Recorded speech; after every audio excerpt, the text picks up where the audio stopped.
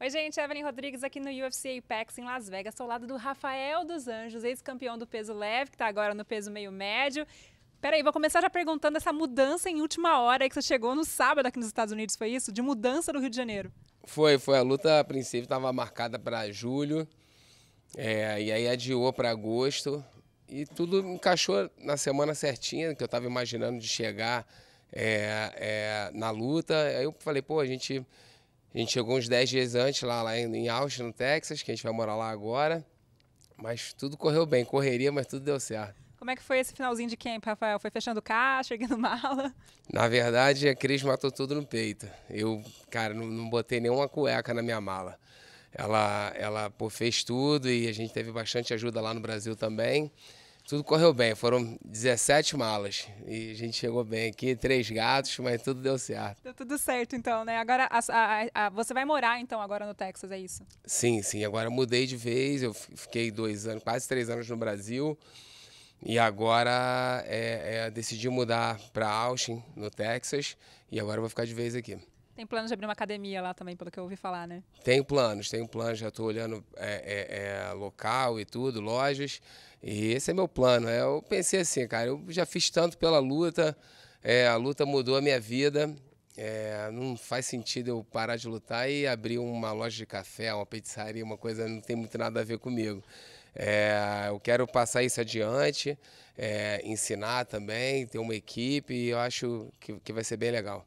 Agora, o camp continua sendo no Brasil, é isso? Você vai continuar indo para Nova União todo, toda vez que você for lutar? A princípio, sim. É, a, esse é o plano. É, é a gente está com, com um sistema aí de um camp mais, mais enxuto, mais curto.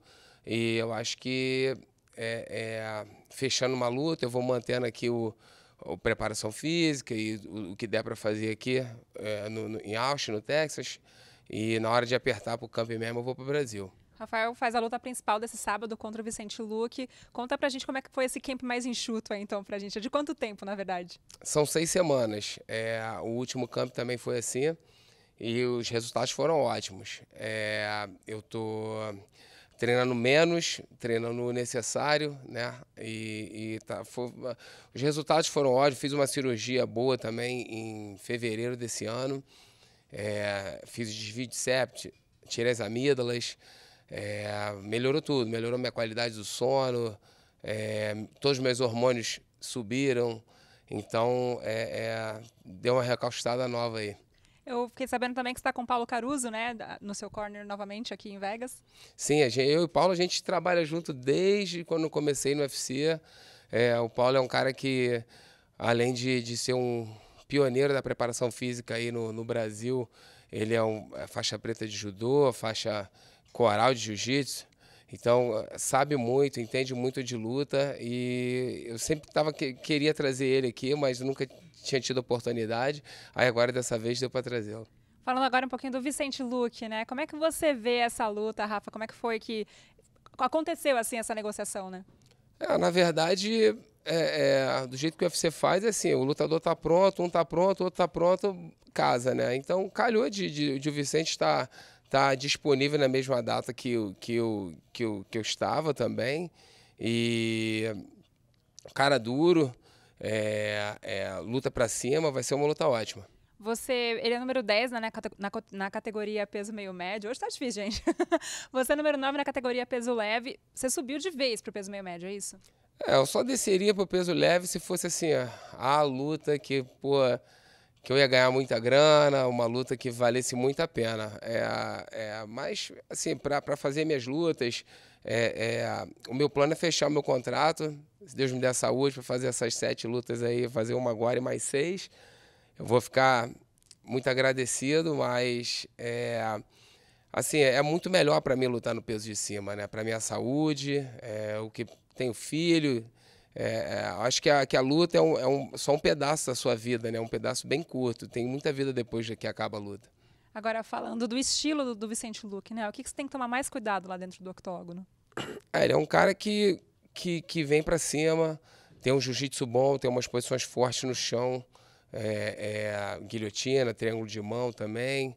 É, bom em pé, um cara perigoso. Ele às vezes deixa ali tomar uns, uns golpes para jogar o dele. É um cara perigoso, mão pesada, forte e, e luta para frente. Então é o tipo de luta que eu gosto também nessas seis lutas que você tem pela frente, tirando essa, né? Dá para visualizar assim uma nova tentativa ao cinturão? É, eu acho que é, é difícil é, é, não pensar no cinturão, né? Eu sou um cara competitivo, sou ex-campeão, já lutei pelo cinturão nessa categoria também, meio médio. É, eu acho que sendo ex-campeão e já, já, já ter tido lutado contra o campeão atual, contra os, os caras, tudo que estão ali no top contender, e fui até o final com os caras fazendo luta dura, eu acho que o caminho para mim é mais curto. Sei que tem muitos lutadores mais novos aí, e o ranking está lotado, mas é, é, é, é questão do, do cara lá de cima olhar e falar assim, é a tua vez. E quando ele aponta, não tem jeito. Se ele me abençoar e, e como vem abençoando e, e falar, é a tua hora, vai chegar. E Acontece, um cara machuca, outro. Né? Acontece qualquer coisa, esse jogo muda de um dia para a noite. Então, é, a, minha, a minha intenção é continuar ganhando as minhas lutas e a, as coisas vão acontecendo. Agora, teria interesse aí no cinturão BMF? Eu acho que eu não, não, não, não, me enquadro nesse cinturão, não, porque eu já fui campeão. Então, esse cinturão é só para os caras que nunca foram campeão. Agora, Rafa, tava olhando, né, na, os seus recordes e tudo. Você tem mais de oito horas no octógono. Você é o atleta que tem mais tempo dentro do octógono. Esse ano você completa 15 anos de UFC. Passa um filme? Ah, passa, passa. É, nunca imaginei que eu ia chegar a esse ponto, mas eu acho que é a constância, né? A gente, é, a carreira de luta é, não é um não é um, um, um, tiro de 100 metros, é uma maratona, né? Você treina para a vida e eu venho treinando certo durante esses anos aí, venho aprendido, venho, venho aprendendo a, a, a, a treinar, a melhorar é, em cada ponto da minha vida, é, abrindo mão de muitas coisas, disciplina, eu acho que isso conta muito. O que a gente pode esperar dessa luta, né? Aqui em Las Vegas, dois brasileiros na luta principal. Ah, pode esperar uma vitória maravilhosa. Eu estou muito bem treinado.